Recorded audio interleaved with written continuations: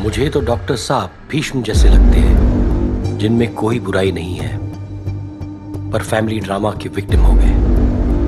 महाभारत में दो फैमिलीज़ थी। इंडिया में तो एक ही है।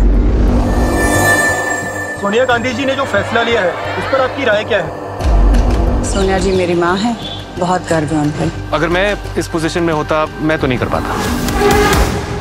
प्रधानमंत्री के लिए मैंने, मैंने डॉक्टर मनमोहन सिंह है मनमोहन सिंह ईश्वर की शपथ लेता हूँ कि मैं प्रधानमंत्री के रूप में अपने कर्तव्यों का शुद्ध अंतकरण से निर्वहन करूँगा। सौ करोड़ की आबादी वाले देश को ये गिने चुने लोग चलाते ये देश की कहानी लिखते हैं और मैं उनकी कहानी लिखता हूँ।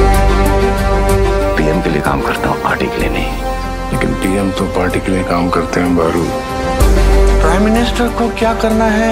ये एनएससी तय करेगी। इनकी समझ में आएगा? पीएमओ मींस बिज़नेस ना ना ना ना ना sir the doctor Singh means business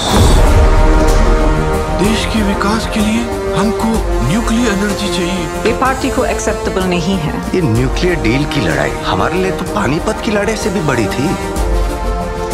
सरकार देश की न्यूक्लियर आज़ादी का सौदा कर रही है। मैं देश को बेचूँगा। मैं कश्मीर का हल ढूंढना चाहता हूँ। अगर आप पाकिस्तान के साथ शांति का समझौता करेंगे तो नए प्राइम मिनिस्टर क्या करेंगे?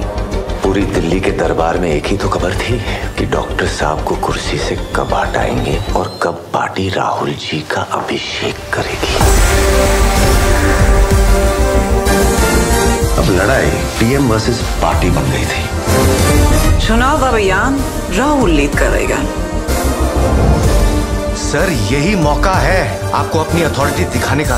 ये जीत आपकी जीत है ये पीएमओ आपका टर्फ है। और कितना बदनाम करेगी पार्टी? आप कुछ बोलते क्यों नहीं? मुझे कोई क्रेडिट नहीं चाहिए। मुझे अपने काम से मतलब है। क्योंकि मेरे लिए देश पहले आता है। मैं रिजाइन करना चाहता हूँ। एक के बाद दूसरा करप्शन स्कैंडल इस माहौल में राहुल कैसे टेक ओवर कर सकता है?